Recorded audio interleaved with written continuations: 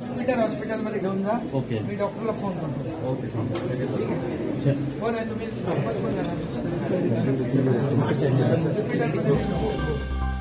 A video of Maharashtra Chief Minister Eknath Shinde helping a woman constable is making rounds on social media.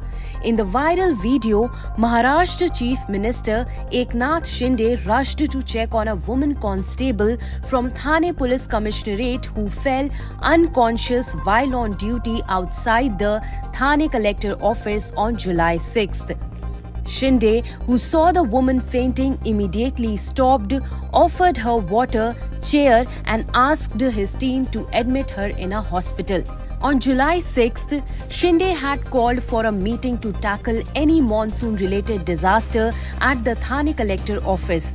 When the chief minister was heading out after the meeting, there was a huge crowd outside the conference hall. A party worker who was on the spot said, Due to the crowd, the constable felt uneasy and fell. She suffered minor injuries on her hands and leg. The chief minister was passing by and immediately stopped and assisted her to get up and called for a chair.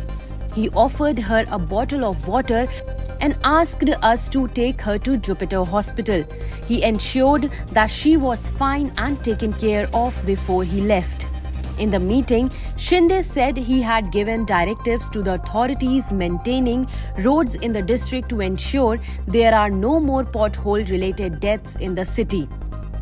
He asked the official to go out on the field and survey the roads.